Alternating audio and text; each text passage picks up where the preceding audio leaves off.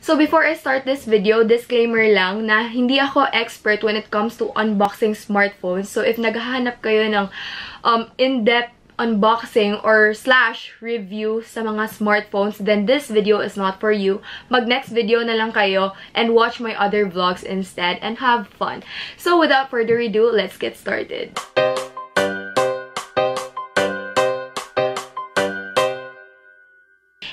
Subscribers! Welcome or welcome back to another vlog. So for today's video, mag-unboxing ako ng isang smartphone. By the way, quick unboxing lang to kasi nagmamadali na ako. Since my volleyball pa ako sa school, it's already 9.52 a.m. and I have to be there like 10. So yes, this is just quick and fast. What? By the way, thank you guys so much for joining my iPhone 11 giveaway. Sa mga hindi nanalo, thank you so much for joining. And yeah. don't worry, marami pa tayong surprises and giveaways na mahahappen soon sa channel ko. So the brand of the smartphone that I'll be unboxing today is the Realme. This is the Realme 5 Pro, guys. And ito yung box niya. Plain white lang siya. It's very simple. Just like the Apple iPhone. So, nandito yung picture ng phone. Ayan. And then, Realme 5 Pro VOOC Flash Charge 3.0 48MP quad camera. So, may apat na camera siya sa likod, guys. Mahabol din si ate girl sa iPhone 11 Pro Max. Then, this is the brand Realme, the logo. Then here, Realme 5 Pro and also on the other side, Realme 5 Pro. Sa likod naman, meron ditong Realme RMX 1971 mobile phone. The color of this is sparkling blue. May dalawang color.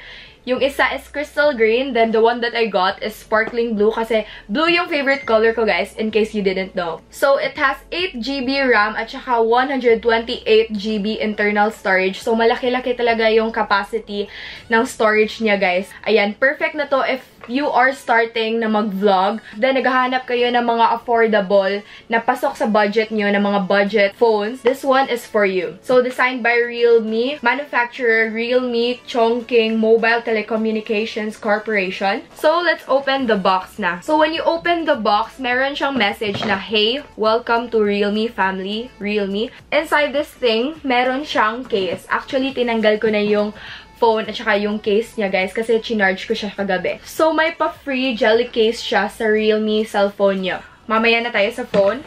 Merong mga manuals at saka important information guide, user manuals, quick guide. Dito nilagay yung phone. I will insert the picture or the clip here kung saan nabuksan ko yung phone. Then, may SIM ejector siya, guys. Yung kulang dito is wala siyang headphones. See, wala nang laman yung box. Walang headphones to. So, kapag gusto nyong mag-headphones, bumili na lang kayo sa store. Meron naman sigurong mura dyan sa tabi-tabi. Then, may charger siya, VOOC flash charger or adapter. Meron din siyang cord. This is the Type-C na cable. So, based on my observation, mabilis lang siyang ma-charge. Like, mga 30 minutes lang siguro magpo-full charge na siya. I'm not even kidding. So, eto na yung pinaka mismong phone niya. And this is the back part. Wait, tanggalin lang muna natin yung case para ma-appreciate natin yung design sa likod. Super exciting ng design niya sa likod, guys, kasi parang may crystal siya na effect or holographic. Diba, uso yung mga holographic noon? So, ayan, they're bringing it back now. Uso pa naman siguro yung mga holographic styles or designs. So, this is in sparkling blue pala. Ito yung sparkling blue and this is the crystal green naman. So, I got the sparkling blue because favorite color ko yung blue and I got so happy na may stock ng sparkling blue that time. So, ayan. Napakaganda ng design niya sa likod. So, dito, may Realme na nakalagay. Ayan. I don't know if you can see clearly. Nakaka-millennial siya. As in, super excited na akong matest yung camera kasi dito, meron siyang 48MP AI quad camera, 8MP for the wide angle, um, 2MP for the macro lens, and 2MP for the portrait mode.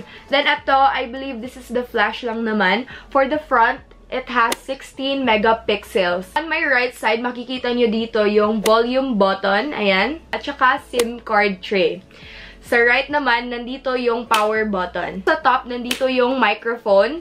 And sa bottom, nandito yung speaker, charging port, microphone, at saka headphone jack niya. So, based on the weight, guys, um, mas, ma mas magaan siya kumpara sa iPhone X ko. Kasi medyo mabigat tong iPhone X. For this one, lightweight lang siya.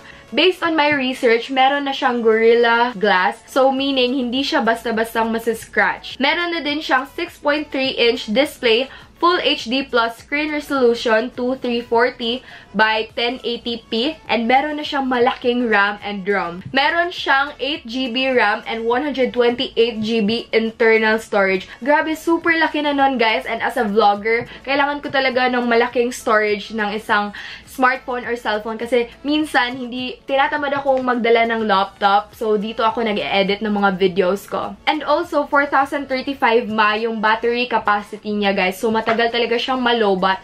At saka, mabilis siyang mag-charge. Gusto niyo yung? Gusto ko yung I-check natin yung camera kung maganda yung quality. Ayan. Oh my gosh. Oh, shit. Wait, I will turn off the beauty. So, I heard this phone is pang gaming na phone daw siya. So, I will try it out later and I'll give you an update. So, eto yung mga test shots ko ng mga videos at saka photos ng Realme 5 Pro.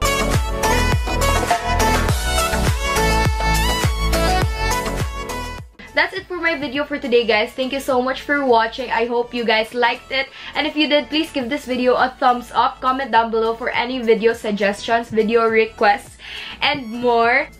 So, bala kong gumawa ng vlogmas, pero I don't know if makakaya ng internet connection ko dahil super bagal ng internet sa bahay namin. So, the review of the Realme 5 Pro is gonna be on a separate video lang muna, guys, because this video is just a quick unboxing and malilate na ako sa schedule ko sa volleyball.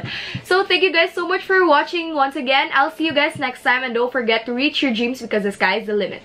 Bye! Into it. You know I'm one for the overly passionate. I like you, and I loved him. We could all be the best kind of